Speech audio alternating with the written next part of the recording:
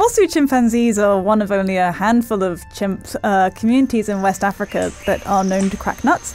And they're the only ones, as you say, Rowan, who use these two stones in combination to crack open the nuts. So my research was looking at that behavior in the Bossou chimpanzees, specifically how they learn to use these tools, which they do over a really long time period. So it takes them five years to acquire this skill. Wow.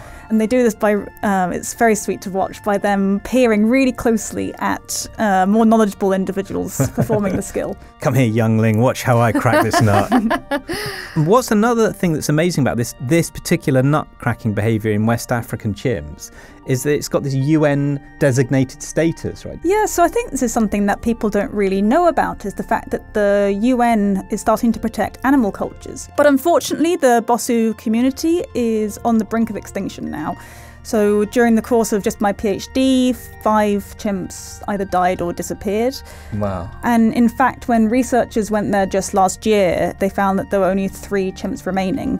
So two males um, and an elderly female. So we're at risk of losing this unique chimpanzee cultural behaviour.